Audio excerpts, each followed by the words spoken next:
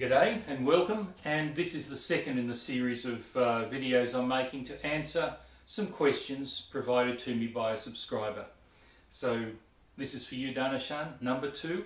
I know it's one you asked me not to do ultimately because you know how to do it but I'm going to uh, discuss it anyway. It's another trigonometric identity and here it is. We've got, I'll show it down here, we've got to show that 1 plus sine theta, all divided by cosine of theta, plus cosine of theta over 1 plus sine theta. So it's, an, it's a fraction plus its reciprocal, is going to be 2 sec theta. Now, again, as I did in the last video, I'm going to start by writing a summary of the four identities that we need to remember. We may use tan theta is sine theta on cos theta, or any of the three trigonometric identities. Sine squared theta plus cos squared theta equals 1, tan squared theta plus 1 is sec squared theta, and 1 plus cot squared theta equals, again, cosec squared theta. Uh, depends on where you are in the world, whether you write it this way or just CSC for cosec. Really doesn't matter. Um, and being identities, we should really write that, and we are in fact writing this identity. An identity, of course, means that this is true for every possible value of theta. We're not just solving to find a particular value that makes it work, as we would in an equation. So this is what we've got to solve. And normally, as I expressed in the last video, we try to simplify. Simplifying is something mathematicians work hard at. We do not try to complexify, uh, if you like. So we look for the most complicated side of the equation which or the identity, which is obviously this one, and that means we would prefer to start here and demonstrate that this is true. We can simplify this to make that. So let's write it up. 1 plus sine theta over cosine theta plus cos theta on 1 plus sine theta and we really should have said left hand side is equal to or is identical to. Now again, we have two terms. We've got two terms that ultimately have to make one. And the only way to do that is if somehow this can actually be added or subtracted to that genuinely, or to force it by making these denominators the same because they're two fractions. The only way we can add two fractions is to have the same denominator.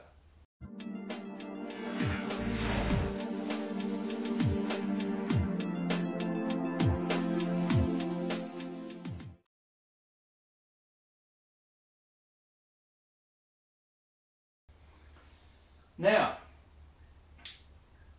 we are talking about these identities. Is there an identity that could possibly match these? Well, looking up here, certainly not this or this, but this one. Sorry.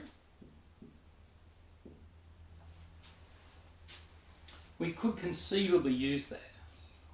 And I also notice this is a rather complicated denominator. It's made up of two terms, 1 and sine theta. How can we combine them into one? Well, the answer is that we multiply by the conjugate. You might recall from rationalising denominators and things like that, that if I take this second fraction and multiply the top and the bottom by 1 minus sine theta,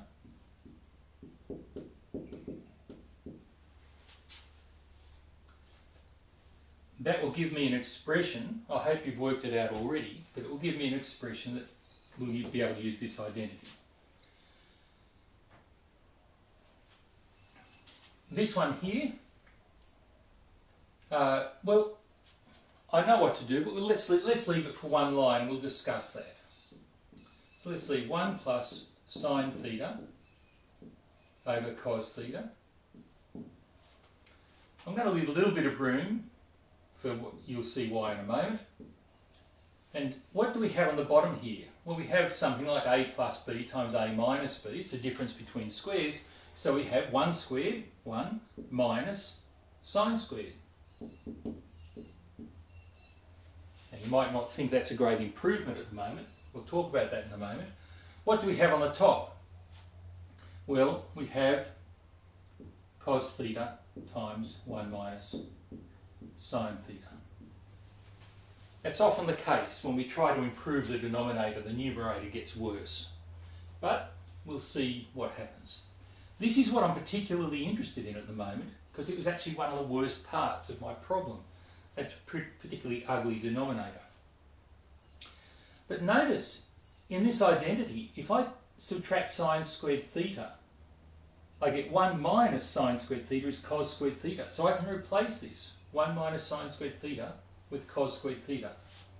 Let's do that.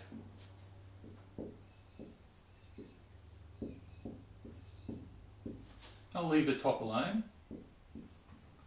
Not going to rush these things. We'll deal with one issue at a moment. The issue at the moment is getting the denominators the same. How do I make that into a cos squared theta? Well, that is easy, isn't it? I can multiply by cos theta over cos theta. And I get cos squared theta on the bottom, and I get cos theta times 1 plus sine theta on the top. And I've now succeeded, because I had two separate fractions, I've now succeeded in getting the same denominator. And it took a little bit of insight to see how these were connected through this particular identity. Now we can just put it all together. So everything over cos squared theta. And let's expand cos theta times this, cos theta times 1 is cos theta, cos theta times sine theta, I'll put the sine first, sine theta cos theta. Then here we're adding, so we've got a plus cos theta times 1, and we've got a positive cos theta times a negative sine theta. So it's going to be negative sine theta cos theta. Things get worse before they get better sometimes.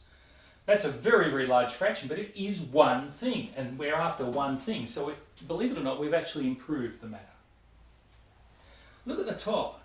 We actually have two terms that are exact opposites. So they add to zero, and they leave cos theta plus cos theta is 2 cos theta over our cos squared theta. We divide a cos theta out.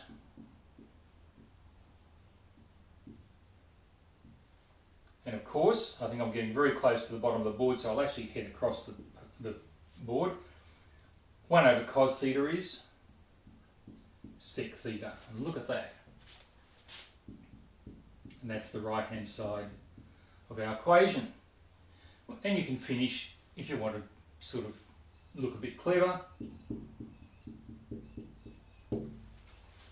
quod erat demonstrandum in Latin, uh, what we were to prove or demonstrate. So there you go. We were supposed to show that left hand side matched the right hand side, and that's exactly what we've demonstrated. I hope that's helped. It may not be the way that you solved it, Dhanishan, but I hope this insight has helped you understand how I look at uh, simplifying trigonometric expressions and proving uh, identities. That's um, it was an interesting one, that one. But it certainly pays to know these four identities very, very well indeed.